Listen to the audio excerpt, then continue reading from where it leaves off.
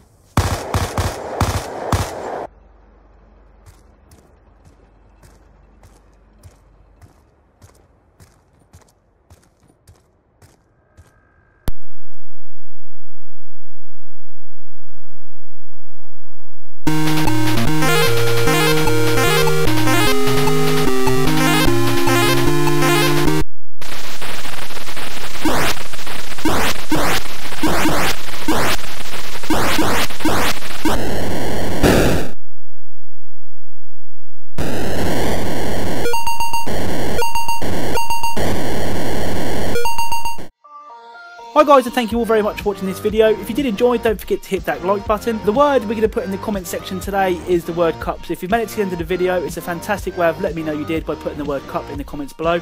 Also it can hopefully confuse a few people. Uh, the video on your left hand side is the best easter eggs in the original Call of Duty Black Ops. I covered that a couple of weeks ago so this is the follow up to that so go check that one out. And the video on your right hand side is the best Easter eggs in Witcher Part 1. I've done a Part 2 and there will probably be a Part 3 at some point this week during the week. Another surprise upload for you. I'm not sure what date yet, but that will be coming.